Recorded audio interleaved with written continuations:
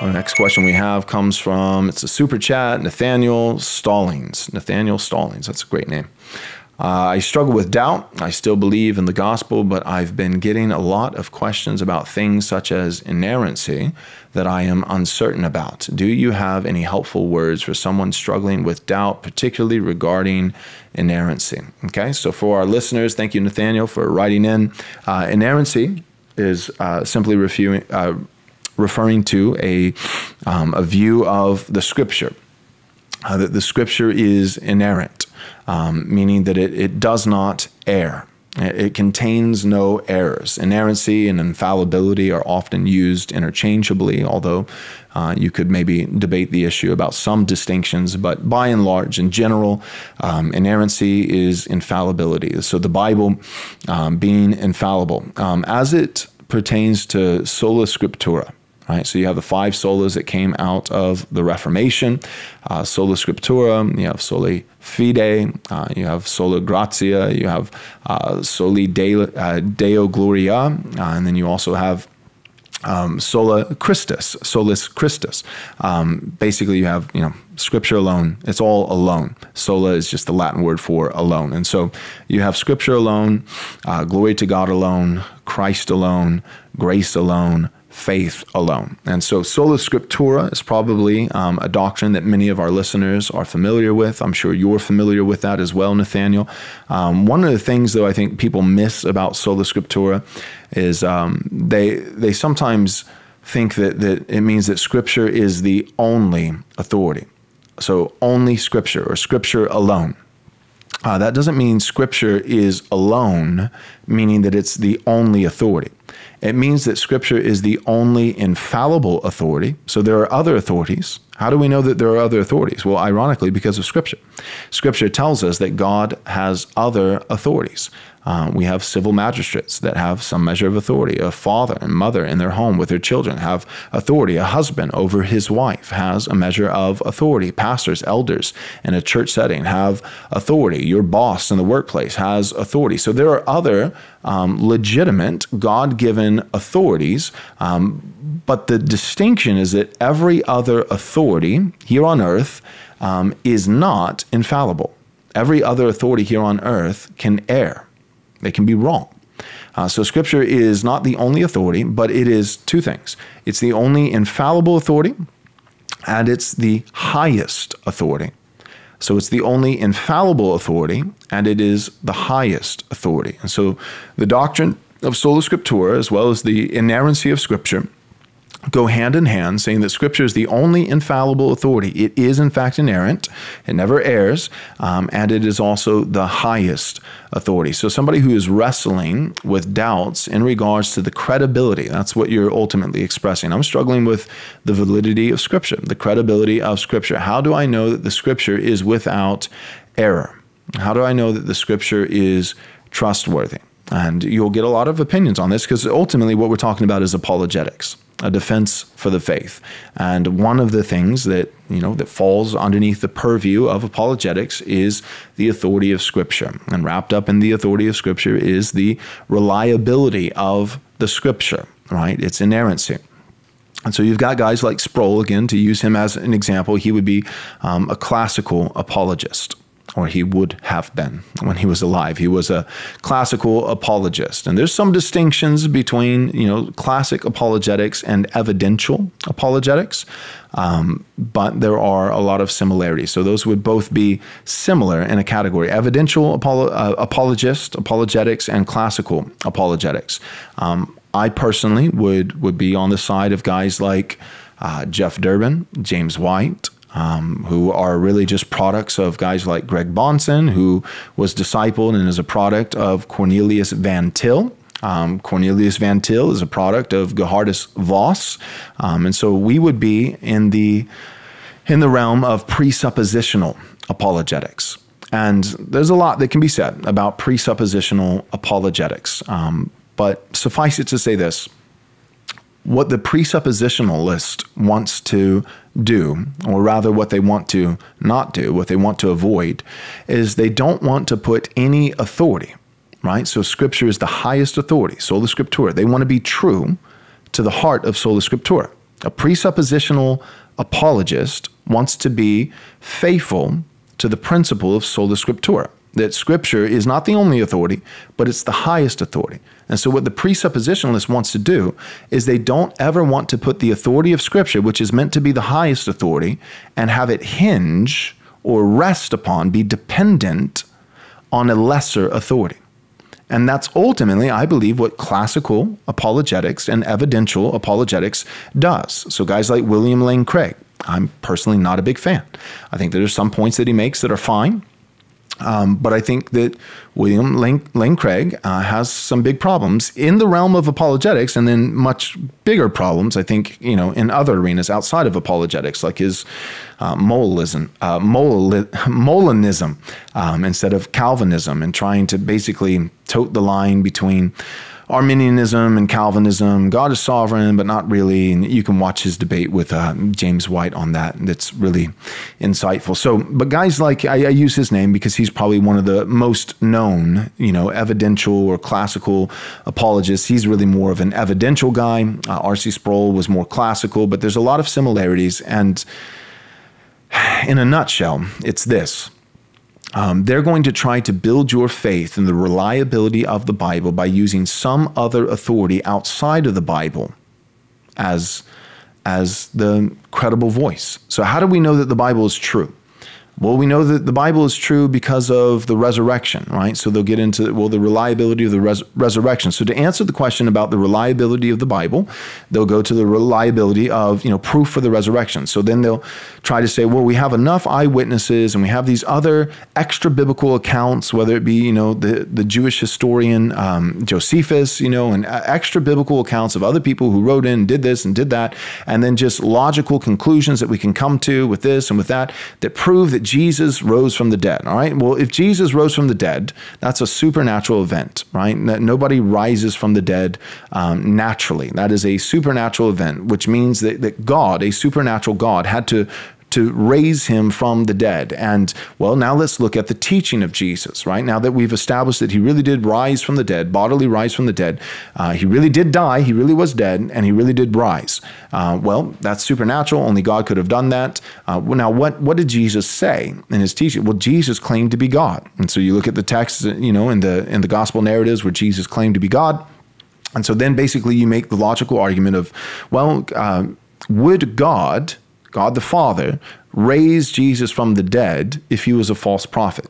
If he made claims about himself, namely him being God's Son, him being equal with the Father, him being divine, uh, would God the Father raise a false prophet from the dead, validating his false prophecies? So that's the logical argument is, well, first let's prove that Jesus rose from the dead. If we can prove, prove that, then that proves that Jesus is in fact the Son of God because rising from the dead is a supernatural event. Supernatural event can only occur if the supernatural God causes it to occur, and God would not do that. Um, for somebody who made false, blasphemous claims, God's not going to raise a blasphemer from the dead, therefore validating his blasphemy. So, all the things that Jesus said about himself must be true, namely that he is the Son of God. Uh, if he's the Son of God, then he is God um, himself. He is God, and therefore he is authoritative. And so, everything else he says must be true. Okay, now we look at what did Jesus say about the Bible, right? And so, he said, well, what did he say about the Old Testament? Not not one jot or tittle will pass away, right? He Jesus affirms with his disciples, he affirms uh, the validity, the credibility, the inerrancy of the Old Testament, um, the Torah, and says this is the word of God. Um, and then Jesus commissions, so with his authority as God himself, the Son of God, he, uh, he affirms the, the credibility of the Old Testament. And so that's going back. And in terms of going forward, Jesus, with his authority as God, the Son of God, he commissions the apostles and endows them with authority. He grants them authority, apostolic authority, to speak on his behalf.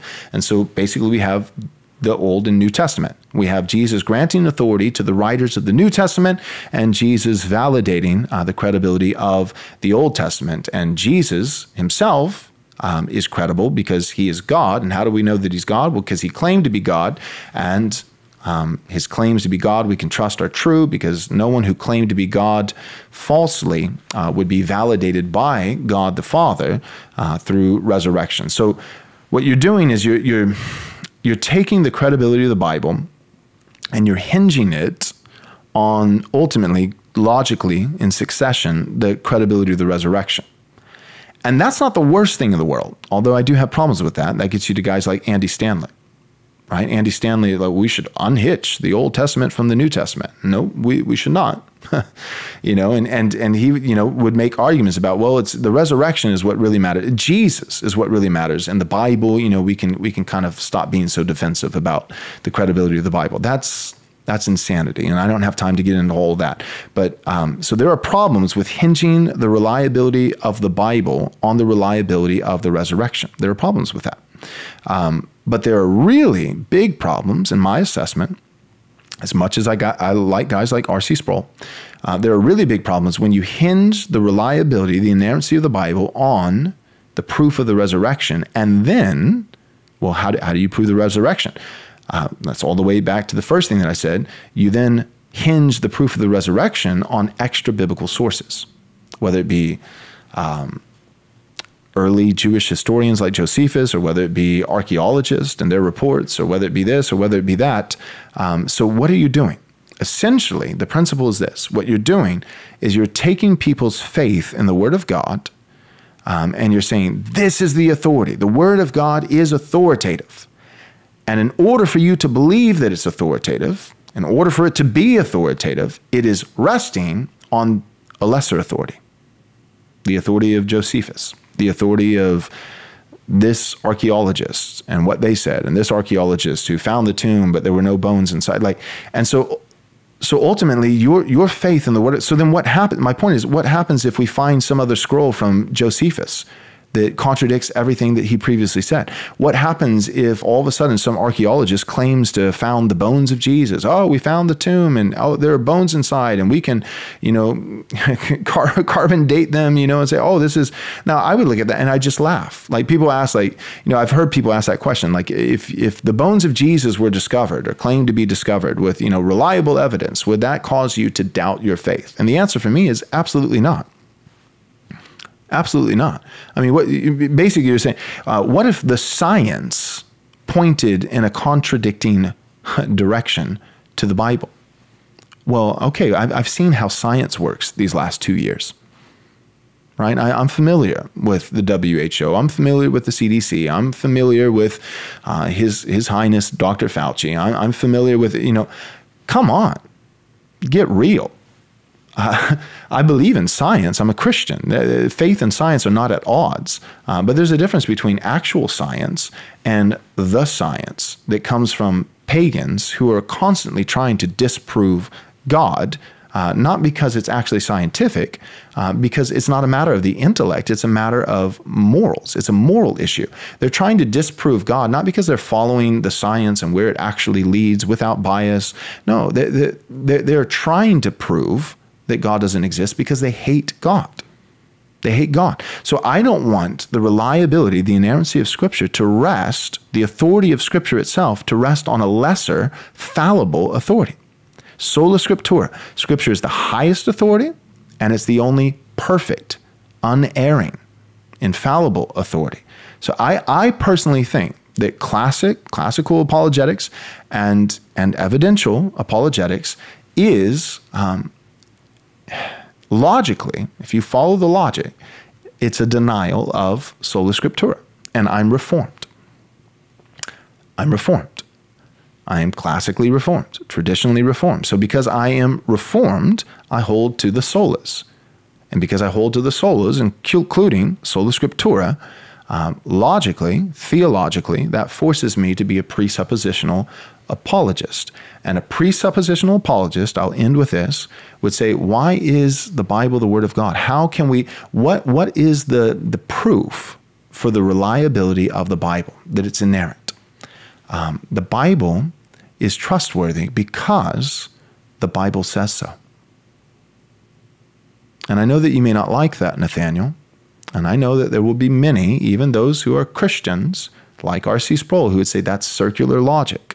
I would encourage you, if you really want more on this particular topic, um, look at John Frame, his book on apologetics, and what he says in particular on circular logic. He, he addresses at great length um, the idea, the claim, the accusation of circular logic when it comes to presuppositional apologetics, ultimately saying that the Bible is valid because the Bible says so. Uh, but what I'm saying is that although that may be an apparent paradox, what we would call an apparent paradox or an apparent cir- circular logic, um, it's not. It's not circular logic. It's not a fallacy. It is not a logical fallacy. It appears to be a logical fallacy, but what I wanted, the reason why I went to such great lengths is because what I wanted you to see before I presented what I think the answer to your question is, how do I how can I trust the Bible? Because the Bible says I can trust the Bible. Right? I, because I know that there are on the surface problems with that answer or appear to be problems with that answer. That's why I wanted to first show you at great lengths the only alternative. The only alternative that may sound more logical is that the authority of the Bible rests on a lesser authority. And as Christians, that, that just that blatantly contradicts everything that we say we believe. We don't trust God because a lesser authority tells us that we can trust God. I mean, that gets us all the way back to Genesis 1, 2, and 3, right? Where, where Satan, a creature, a lesser authority, says, Did God really say? Like, can you really take God at his word? that lesser authorities, what, what they ultimately do, because lesser authority, not only are they lesser in degree, uh, but they're also lesser in terms of purity, right? The Bible is it's not just the highest authority, it's the only infallible authority. Other authorities err. Other authorities um, are sinful. And that doesn't mean that, that, you know, so we shouldn't have pastors, right? Like, no, but, but they are sinful. Pastors make mistakes. I make mistakes. Um, and so, no, I don't want the authority of God's word to be dependent, contingent on a lesser and and fallible authority. Uh, you know, I think of the children's song. I, I sing this to my girls. Um, I, I sing it, you know, not all the time, but I, I sang it just uh, two nights ago to my oldest daughter, Olive. And uh, it was bedtime, and I was answering one of her questions and doing some catechism with her, catechizing. And uh, she was basically asking the question, How do I know that Jesus loves me? You know, and I sang the song, Jesus loves me, this I know, for the Bible tells me so. That's it. How do I know that Jesus loves me? Because I had a personal, mystical, spiritual experience with Jesus. No. How do I know that Jesus loves me? Um, because my pastor told me no. How do I know that Jesus loves? Because the Bible told me so. That's it. That's the only infallible source. Everything else can be tested, tried, and found wanting. Everything else can have holes poked in it. Everything else is a lesser authority and an erring authority, a fallible authority. Uh, the only authority that we can really trust is the Bible. How do you know Jesus loves you? Um, because the Bible says so. Well, how do I know that the Bible is the Word of God? Because the Bible says so because the Bible says so. I would encourage you also to uh, take time. I don't have to uh, time to go into it, but look at the 1689 and the Westminster Confession of Faith, namely um, the particular articles that deal with the Word of God. It's the first chapter, I believe, in the uh, the London Baptist 1689 Confession of Faith. First chapter. There are, I think, seven paragraphs or close to it about the Word of God. And one of the paragraphs addresses this very question How do I know that the Bible is the Word of God? And it gives multiple answers. Um, it says, well, the loftiness of its language, the majesty of its language, I believe is the language that's used. Um, it's beautiful. It's uh, you know, or or this or that, or, or many things that it says have, have been uh, many things that the Bible predicts have come to pass. You know this, uh, but then it then it ultimately gets to the heart and says, but the number one reason, I'm paraphrasing, the number one reason that we can trust that the Bible is the Word of God is because of the inward witness of the Holy Spirit that testifies within us that this is God's Word. So I, I would say, trust the Bible because the Bible says it's trustworthy and ask the Spirit of God to give you faith, to fan into flame your faith. Um, because it sounds like what you're saying, wrestling with doubts. There's a difference between doubt and unbelief. Um, if if that's true, that, that what you're wrestling with is doubt, then, then that means that, that there's at least a part of you that has faith. And, and so, no, you don't have robust, full, mature faith that you would like, um, but you have some faith. So, what do we do? What do we do as Christians with some faith? What do we do when we have a little faith? Um, well, we pray that God would increase it. And, and this goes back to what is an apparent paradox, what seems to be circular logic, but what does the Bible say about faith and how it grows? Well, the Bible says that faith cometh by hearing, and hearing the Word, the Word of Christ, the Word of God. So, how do I grow in my faith that the Bible is the Word of God? I read more of the Bible because faith comes by hearing the Word of God. I think if you just if you look for outside sources to tell you that the Bible is credible, um, ultimately you'll come up dry. But if you look to the Bible to have a bolstered faith in the Bible, uh, as, as weird as that sounds, um, you'll be blessed. It'll work. All right. Thanks, Nathanael. Wait, wait, wait. Real quick before you go, do me a favor. Subscribe to our YouTube channel Click the bell so you'll be notified with all our new content as it comes out on a daily basis. And if you're willing to support this ministry, you can do so by going to rightresponseministries.com slash donate. Thanks so much. God bless.